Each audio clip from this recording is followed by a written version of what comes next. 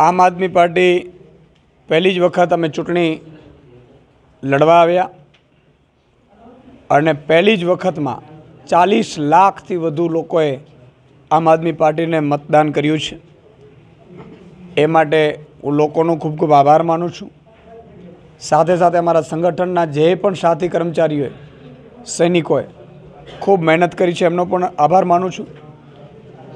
એ વાત ચોક્કસ છે કે અમે જે અપેક્ષાઓ રાખી હતી એટલી નથી રાખી, પરંતુ એટલું ચોક્કસ છે કે એવું કહેવાતું હતું કે ભાજપના ગઢમાં ત્રીજો પક્ષ નથી ફાવતો. એમાં અમે સેંધ મારી છે.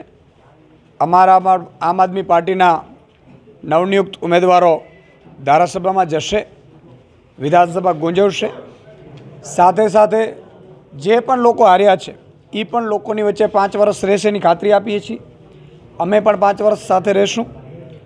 અને બે હજાર ચોવીસ અને બે હજાર સત્યાવીસની આવતીકાલથી જ અમે તૈયારીઓ શરૂ કરી દેવાના છે.